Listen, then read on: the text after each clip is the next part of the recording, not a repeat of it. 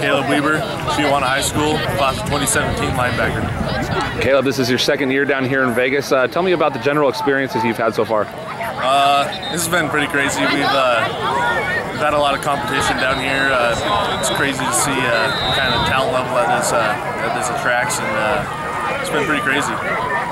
You just finished your sophomore season. You've been to the state championship two years in a row now.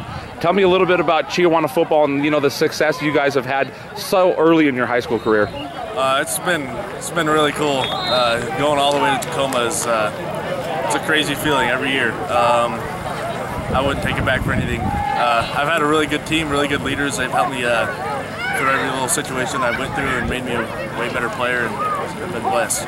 Personally, you were a first team All League member last season. Uh, what do you need to work on? Where, what areas of your game do you need to, to round off to maybe become a better football player? Um, stop going for the big hit and wrap up sometimes because it doesn't always work and uh, get a little faster. Chiawana, you guys lose a lot of really good players, Austin Erlocker specifically. What should we look for out of the Riverhawks next season? You know, we got a couple up and coming players. Corey Bell's one who's uh, he's going to be really good. He's going to probably play some running back.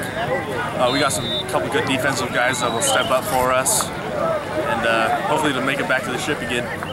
All right, Caleb Weber, uh, Chiawana High School. Thanks, Caleb. No problem.